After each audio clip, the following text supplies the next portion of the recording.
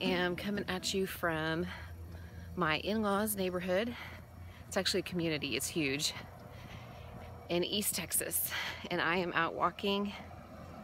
There are cars driving by me constantly. It's never gonna quiet down because I'm on the main road.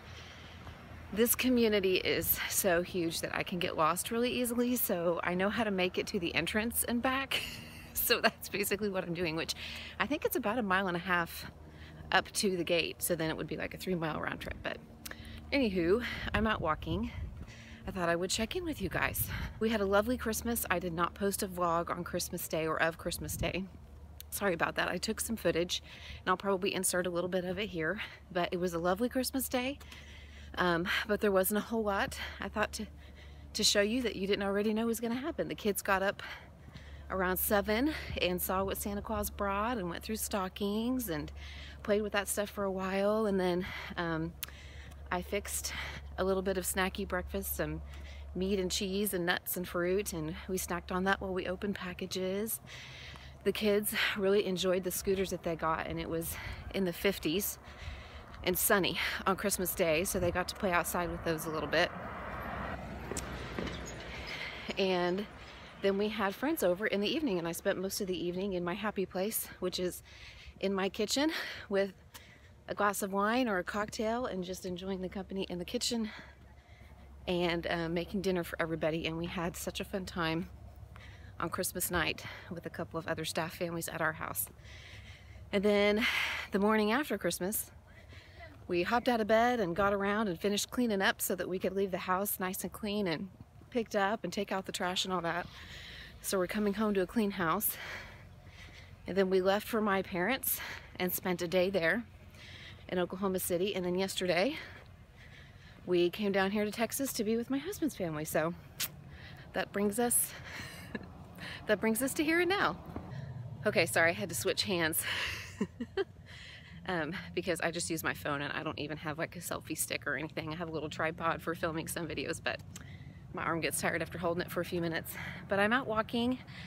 Um, I did go for a two mile jog on Christmas Day, and that was the end of my Christmas run streak. Um, because the next day, the day after Christmas, I did not jog. Let me tell you, it was hard to break that mentally. I was thinking, oh, I could just do one mile. I could keep going. Maybe I could keep going through the new year. And you know what?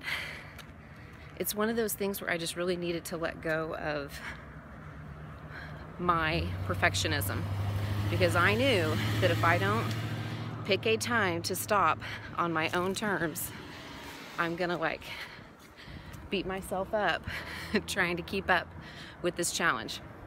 But it did what it was supposed to do. I feel like I had basically, I think 32 straight days of jogging at least one mile there were several times when I did more than that, probably about half the time I did more than that. I should add up how many miles I ran total. I bet it's close to 50, 50 miles altogether. There were lots of times when I ran more than two, and there was one time when I ran the equivalent of a 5K, which is just over three miles. And I feel like that really helped me. Um, it was a very accessible goal. It was a very attainable goal because just doing one mile was very, um, very um, what's the word, attainable for me, very achievable. And, you know, lots of times whenever I was like, oh, I don't really want to do it, but I only have to do one mile, then once I hit the one mile mark, I'd be like, well, I can go a little longer, or I've jogged, but now I'll walk a little bit. And it was just nice to have something to take my mind off of how am I going to deal with all the food indulgences. It was nice to have like a non-food challenge. So I'm very happy with that. But Christmas Day was my last day for the run streak. I took a break the next day, but then yesterday I went out at my parents and jogged two and a half miles before we left. So I got a little bit of exercise there. And for the next few days, till we get to the new year, while we're out of town and out of our routine, I'm just trying to get some activity. Today I decided just to walk. I'm gonna try to get at least three miles. Would be nice if I could get four or five. Um, we'll just see, but that's what I'm doing. Food wise, I'm doing okay again. I'm still very happy with the way that I've navigated this season. Um, this time last year, I was in maintenance and I feel like I was still struggling with being mindful, you know, and choosing the things that were really worth it and not having one indulgence and letting it lead to 10. Yeah, I was still struggling with that. This year, I think I've been a lot better about choosing the days I'm going to indulge, choosing the meals I'm going to indulge in, the events that are really worth it to me, and also on the times whenever it's not necessary, just choosing better things, eating vegetables, drinking water, having a salad, you know, a simple meal that's low in points. I've done a better job of that this year. As far as the scale, I haven't been able to make it to a WW meeting, or I've chosen not to make it to a WW meeting in a couple weeks. I went to two, the first two weeks in December, um, and then I didn't go the week that I was sick, and I decided not to break my neck, or not to break my back, or bend over backwards. That's the that's the phrase I'm looking for. I decided not to bend over backwards, getting to a meeting during the week of, of Christmas. It was just, it's been crazy this week. So I have been on, you know, my home scales, my parents' home scale, uh, my in-laws' home scale here, so I know that it's a little bit um, different. It's not the Weight Watcher scale. But in case you were wondering, I'm bouncing around now in the 144 to 145 range, which I am okay with. I said I wanted to end the, if I get out of the holiday season in the 143 range, I'll be very happy. But even if I'm within a pound or two of that, I will still consider that a win compared to how I've worked you know, the program and managed this season in previous years. And as long as things don't go completely off the rails in the next few days, I should be fine. I decided that the next time I go to a WW meeting, given our schedule, is probably going to be the 3rd or 4th of January. So that'll be my first weigh in for the month, which means I need to be under 147 to weigh in at my lifetime, in my lifetime range. I do not think that's going to be a problem.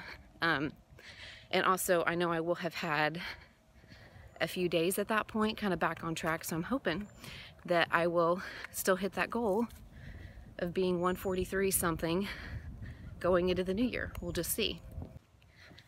Speaking of the new year, I have been um, thinking about, you know, this channel and what I want to do and what I want to do in January and what I want to do long term. Um, so I would love some help with that. First of all, thank you so much to those of you who watched all of my vlogs through December and watched us go through Vlogmas.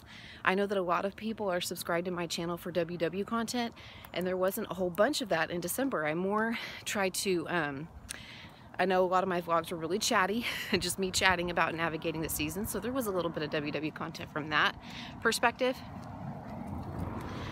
But I also know um, that I did a lot of stuff with my family. I showed my kids a lot. I showed stuff that was going on at the church. Um, I just tried to kind of familiarize you guys a little bit more with our family and our situation. So thank you.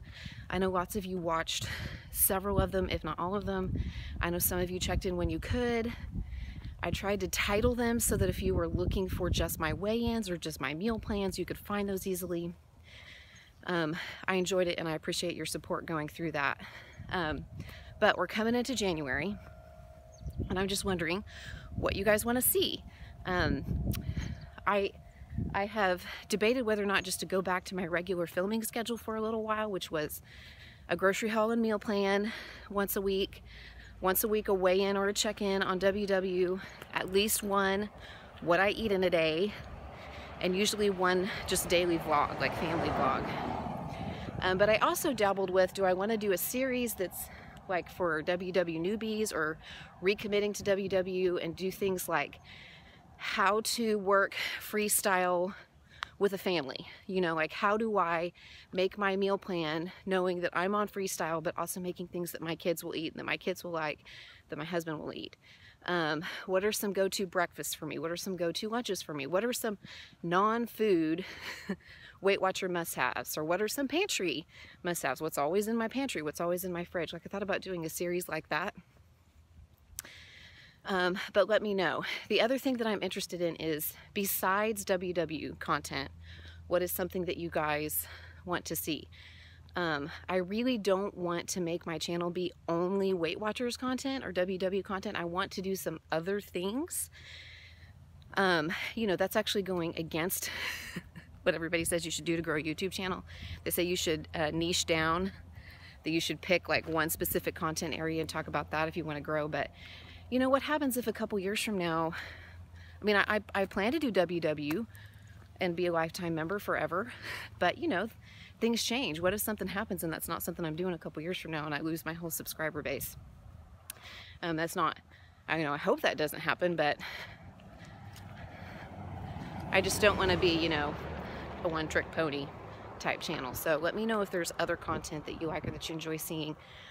I do think I'm going to film tomorrow with my husband. My husband and I are going to Dallas for a couple of nights, just the two of us. We're leaving the kiddos. That's kind of our Christmas gift to each other.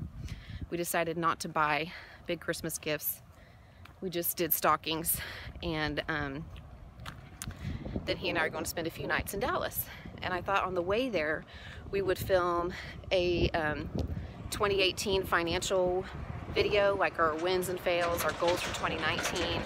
Financiers are something that we talk about a lot with each other um, you know, and try to stay on top of. So I thought I might just film that with him because we talked about it on the way here. We talked about how did 2018 go for us? How are we closing out the year? What are some things we did well? What are some things we still need to work on? And then what are our 2019 goals? And I thought maybe we would just do a little chatty vlog on the way to Dallas and share that with you guys.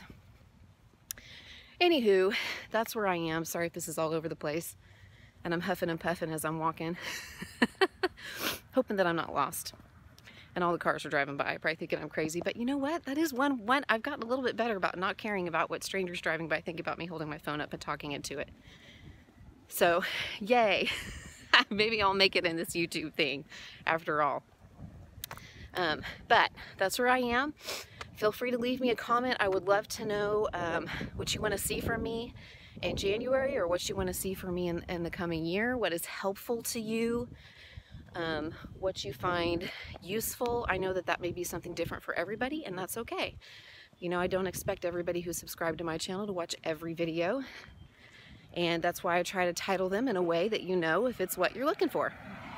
So that's where I am. I hope you guys are enjoying um, the last few days of this holiday season and this holiday break, that you're getting some time with family, that you're getting some rest, drink your water, get out for a little bit of exercise, even if you're indulging in the food area. Do those couple of things, and I have found that they have helped immensely. So I will check in with you guys another time. As always, thank you. I'd love it if you thumbs up and you subscribe.